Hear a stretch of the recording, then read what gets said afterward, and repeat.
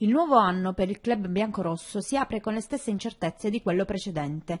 Tra colpi di scena mancati e tanto fumo negli occhi è comunque emerso Gianluca Paparesta, l'ex arbitro ed ex assessore al marketing territoriale del comune di Bari, ha messo a disposizione rapporti e conoscenze per cercare di risolvere la difficile situazione societaria, rendendo allettante il club barese per chi volesse entrare nel mondo del calcio. Si è parlato di contatti con i russi e del suo viaggio a Londra con l'obiettivo di cedere il club.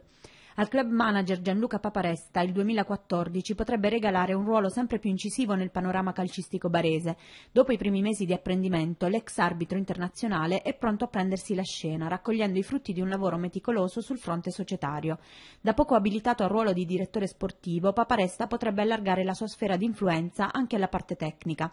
Una scommessa che potrebbe concretizzarsi fra qualche mese, quando il contratto di Angelozzi andrà in scadenza. Infatti, l'esperto direttore sportivo difficilmente potrà nuovamente accettare un rinnovo contrattuale alle condizioni attuali. A fine stagione sarà probabilmente separazione consensuale dopo quattro anni tra luce e ombre. In bilico Alberti e Zavettieri, a meno di un drastico cambiamento nel girone di ritorno. Nel 2014 i due concluderanno il loro mandato a Bari.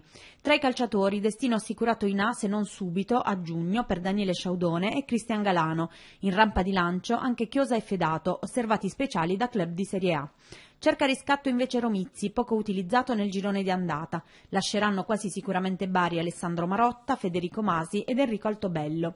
Sogna il salto di qualità Stefano Beltrame, con più gol e meno fumo. Intanto il mercato di riparazione invernale si è aperto con Guido Angelozzi a caccia di attaccanti. Dopo l'addio di Mattias Alonso e quello molto probabile di Alessandro Marotta, la priorità è quella di rinforzare l'organico con una prima punta di peso. L'attenzione del direttore Angelozzi si sarebbe diretta verso Arturo Lupoli del Varese e Gianmario Comi del Novara. I due giocatori non hanno trovato molto spazio nei rispettivi club durante la prima parte di stagione.